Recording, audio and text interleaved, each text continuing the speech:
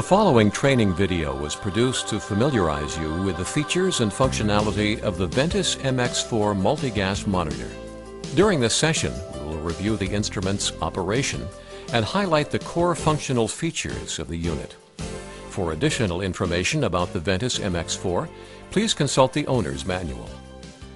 The Ventis MX4 is the next evolution in Industrial Scientific Corporation's state-of-the-art handheld multi-gas monitoring instruments. The Ventis MX4 is constructed of a durable composite material wrapped with an impact-absorbing rubber-over mold.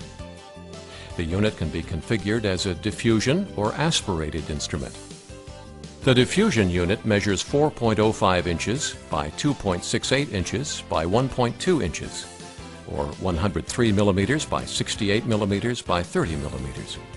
And the aspirated unit measures 7.0 inches by 2.68 inches by 2.0 inches, or 177 millimeters by 68 millimeters by 51 millimeters.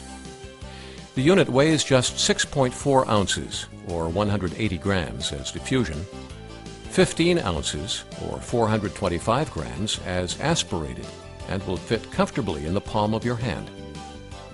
The Ventis MX4 has four sensor slots and can be configured to monitor from one to four gases. Available sensor types include oxygen electrochemical, combustible gas catalytic, and toxic gas electrochemical.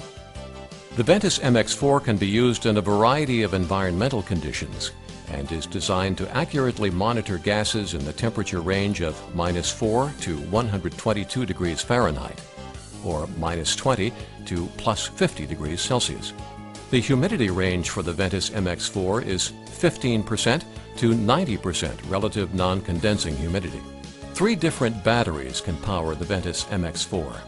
The standard rechargeable lithium-ion battery pack will power the Ventis MX4 diffusion unit for 12 hours. The extended range rechargeable lithium ion battery pack will power the Ventis MX4 diffusion unit for 24 hours and the aspirated unit for 12 hours. And the 3 AAA alkaline disposable battery pack will power the Ventis MX4 diffusion unit for 8 hours and the aspirated unit for 4 hours.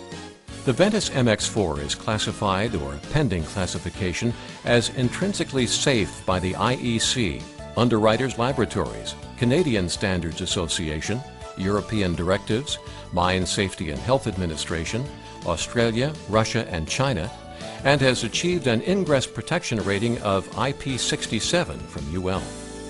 Other agency approvals are pending.